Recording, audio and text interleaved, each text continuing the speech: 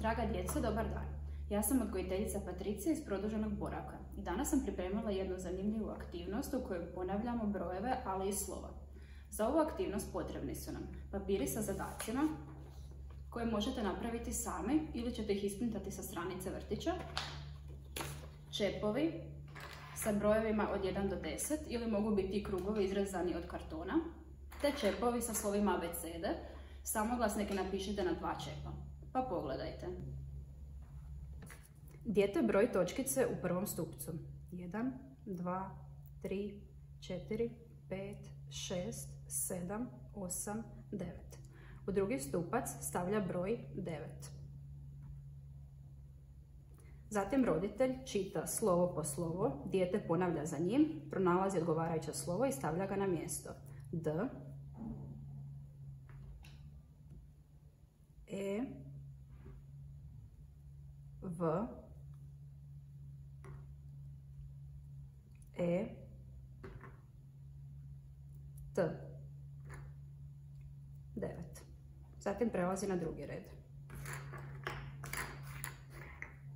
1, 2, 3. Pronalazi broj 3 i slaže slova T, R,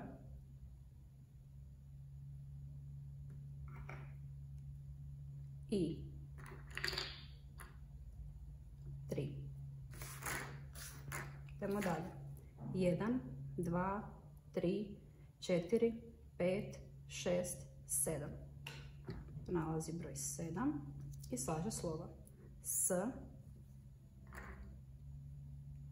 E, D, A, M. 7.